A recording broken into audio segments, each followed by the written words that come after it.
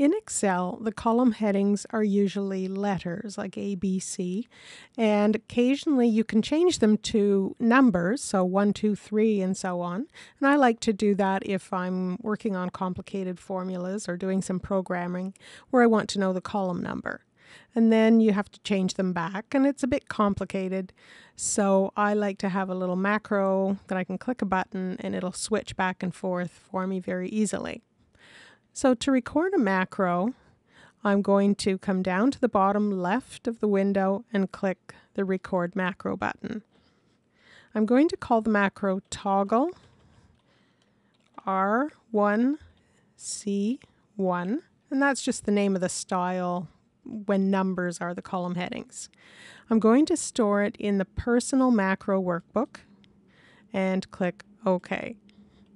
So I'm going to turn the setting on and then turn it off just so I can see what code Excel uses to make that change. So to turn it on, I'll come up to the Office button, go down to Excel Options, and click Formulas, and then add a check mark to R1C1 reference style, and click OK. So now we have the numbers. To turn it off again and go back to letters, I'll go back into Excel options and formulas and take the check mark out and click OK. So now we should have some sample code and I'm going to come down to the bottom left again and turn off the macro recorder. And to see the code that we created, we can go into the developer tab, but first I stored this in the personal macro workbook, which is hidden. So I'm going to the View tab, and this little icon is for unhide window. So I'm going to click it, and here's my personal workbook. So I'll click OK just to unhide that so I'll be able to see its code. So now I'll go to the Developer tab, click macros. And there's my macro.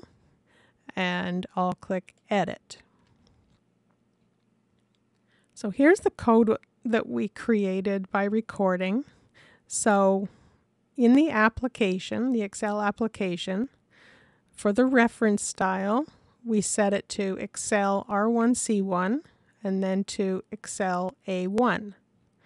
So right now, if we ran this macro, it would just very quickly change the setting to numbers and then back to letters. And we it would happen so fast we wouldn't even see it happen. What I would like it to do is check and see if numbers are showing or letters and change it to the other one. So I'm going to select all this and click the copy button. And I'm going to just delete this little apostrophe.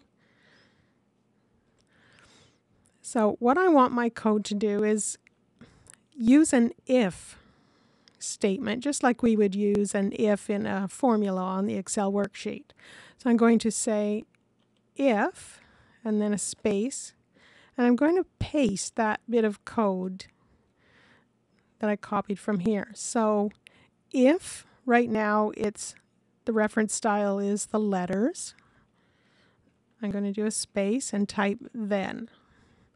So if we're showing letters, then, and then I would like it to change to the numbers. So I'll leave that.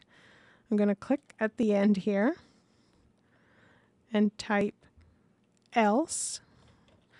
So that will tell it what to do if it's not letters. And in that case, so if it's not letters, we want it to change to letters. I'm going to click at the end of that row and type end if. And when I click away, you can see that these lines have changed to blue text and things have been capitalized.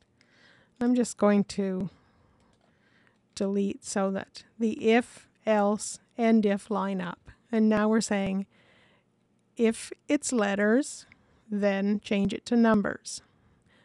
Else, so if it's not letters, change it to letters. And I'm going to click the Save button. and just move this a little bit, we can see letters are showing.